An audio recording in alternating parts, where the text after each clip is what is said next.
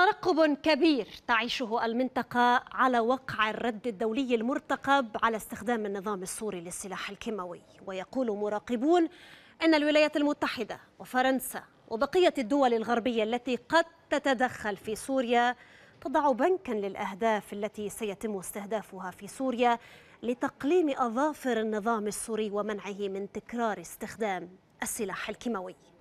بحسب المراقبين فإن أبرز الأهداف التي يمكن استهدافها هي المطارات العسكرية التي تشكل الذراع الأقوى للنظام السوري حيث يملك أكثر من 25 مطارا عسكريا. أبرزها مطار المزة العسكري في دمشق مطار النيرب العسكري في حلب مطار التيفور شرقي حمص ومطار الشعيرات الذي تم استهدافه في قصف أمريكي سابق.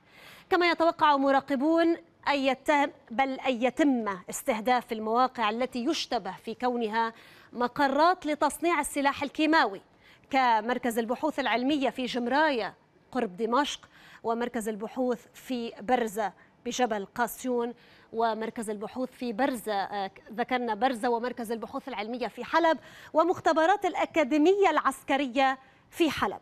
ومن ضمن الأهداف التي يمكن استهدافها بحسب المراقبين دائما منظومات الدفاع الجوي والرادار التابعة للنظام أهمها اللواء 155 صواريخ في القطيفة بريف دمشق.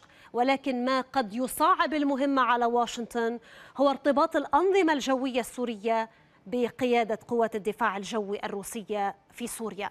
من ضمن الأهداف التي يمكن استهدافها أيضا معسكرات الحرس الجمهوري والقوات الخاصة غربي دمشق كما يمكن استهداف إدارة الأركان العسكرية وإدارة الدفاع الجوي ومقر الفرقة الرابعة في العاصمة دمشق. من المواقع التي يمكن استهدافها مقرات ومواقع الحرس الثوري الميليشيات الإيرانية في سوريا وتتوزع القوات الإيرانية في سوريا بدمشق بحيث أيضا مقرات القيادة المركزية. هنا نتحدث المقر الزجاجي بجانب مطار دمشق وأيضا ثكنة الشيباني أو ثكنة الإمام الحسين بالقرب من دمشق ومدينة الزبداني وأيضا المقرات العسكرية بقيادة المنطقة الجنوبية بدرعا والسويداء والقنيطرة والمقر الرابع للحرس الثوري بحمص ومطار الشعيرات العسكري.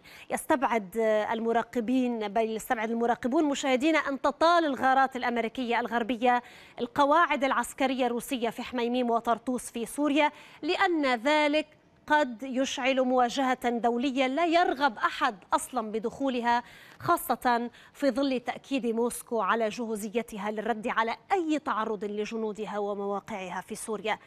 ولكن لا أحد يعرف إلى أين ستتطور الأمور بعد دعوة ترامب لموسكو إلى انتظار الصواريخ الذكية والجديدة في سوريا.